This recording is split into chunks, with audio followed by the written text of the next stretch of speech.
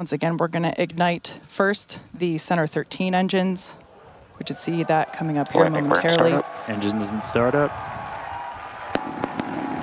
This is going to come down to three engines as the booster slows down for its landing.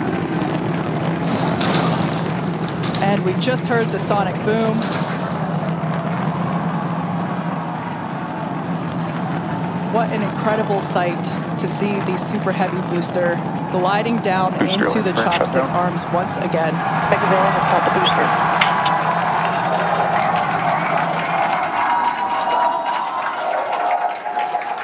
Stuck the landing. Wow. that will never get old. All right.